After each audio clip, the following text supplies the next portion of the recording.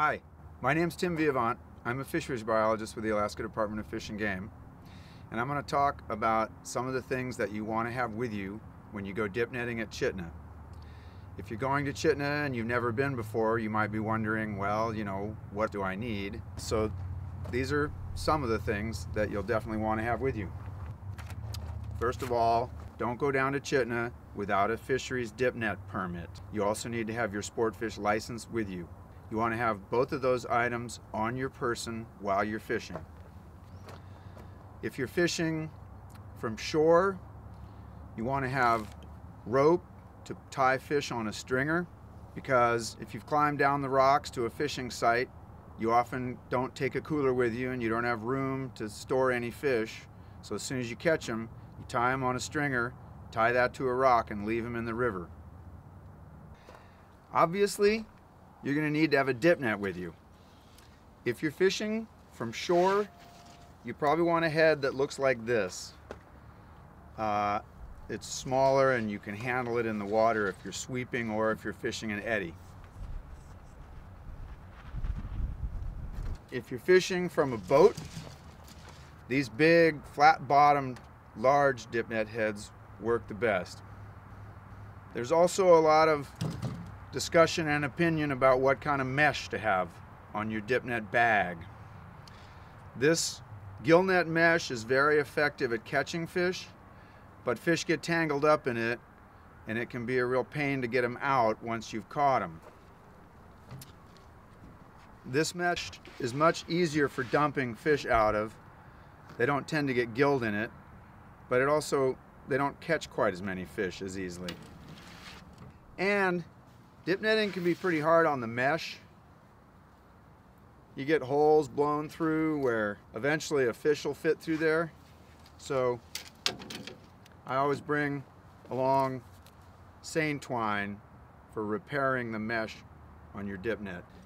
As far as dip net handles, it's a really good idea on your dip net handle to have one of these square shovel handles at the tip gives you some control over the dip net and it also allows you to see what the orientation of your head is in the water. If you're sweeping, you'll want some kind of a T-handle on the side of the dip net. Gives you some leverage and some control over the dip net while you're sweeping.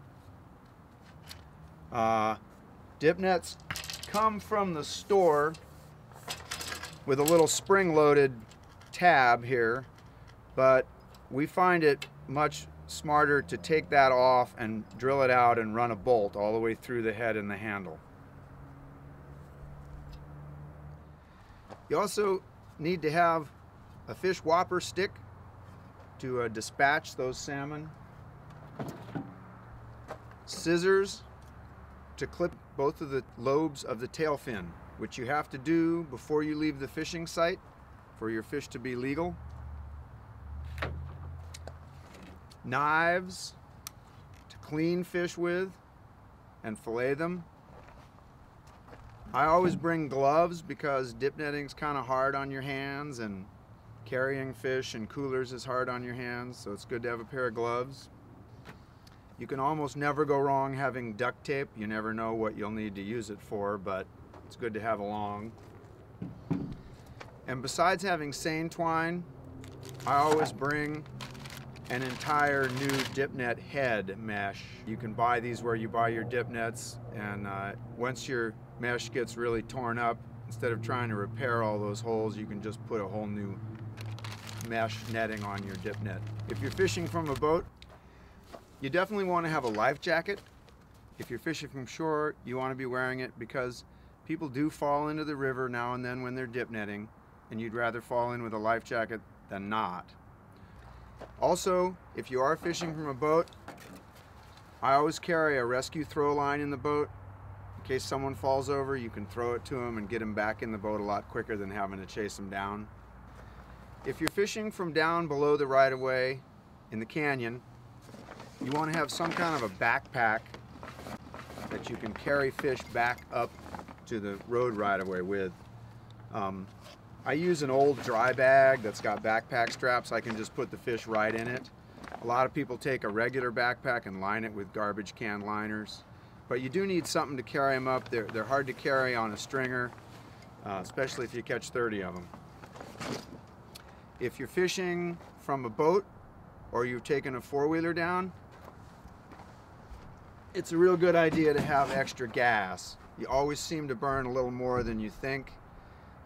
And of course, you need to have a couple big coolers. You need big coolers because you're going to catch a lot of fish, and you need big coolers because they need to be half full of ice, so there's room to put fish in with the ice. I usually take eight to 10 bags of ice, and that lasts about three days, which by that time you're usually caught all your fish and you're on your way home.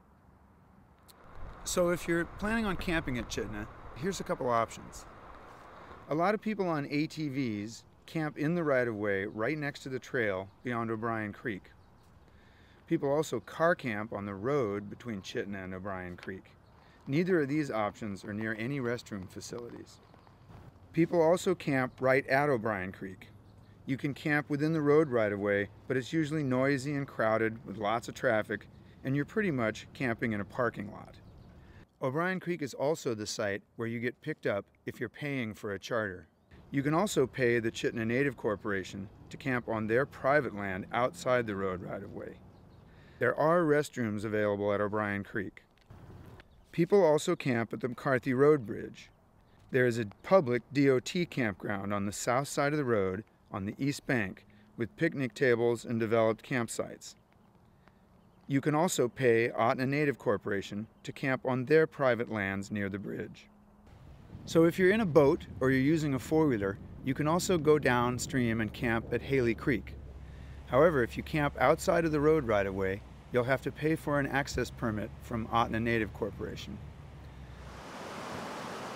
Although it's a long way from the fishery, there is also a state park campground at Liberty Falls before you get to the town of Chitina. It's very scenic and has well-developed campsites and is a fee area. Remember, there's lots of bears around Chitina, and so you should always take appropriate precautions. So, good luck and good fishing at Chitina.